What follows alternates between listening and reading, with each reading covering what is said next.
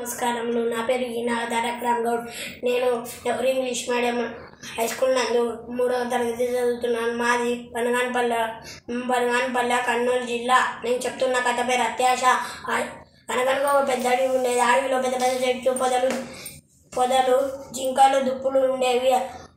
సింహ పులిలు సింహాలు ఏనుగులు వంటి అనేక జంతువులు ఉండేది. అదే అడవిలో ఒక అత్యాశ గల నక్క ఉండేది. ఆ నక్క ఒకరోజు బయ ఆహారం కోసం బయలుదేరింది ఎంత దూరం వెళ్ళినా తనకు కొంచెం కూడా ఆహారం లభించలేదు. నిరాశ చెందక మరికొద్ది దూరం బయలుదేరింది. అప్పుడు దానికి ఒక మాంసం ముక్క దొరికింది.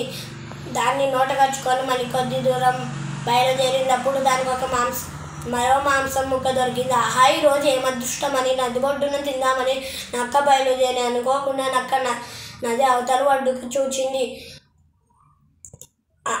అవతల ఒడ్డున చచ్చిపడి ఉన్న జింక ఉంది అది కూడా తెచ్చుకుందామని నదిలో ఈద సాగింది. అనుకోకుండా నోట్లోని మాంసం ముక్కలు పడిపోయాయి. ఈ మాంసం ముక్కలు పడిపోతే పడిపోయాయి అవతల ఒడ్డున చచ్చిపడి ఉన్న జింక ఉంది కదా.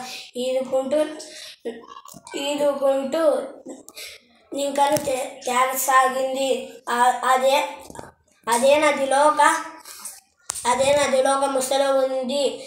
ఆ ముసలి నక్క రాకని గమనించి అమాంతమని నక్కను నక్క నోటిలో ఉన్నని జింకను తినేసింది. ఈ కథలోని నీతి ఏమిటంటే ఆశ ఉండొచ్చు కానీ అత్యాశ ఉండగాదు ధన్యవాదములు.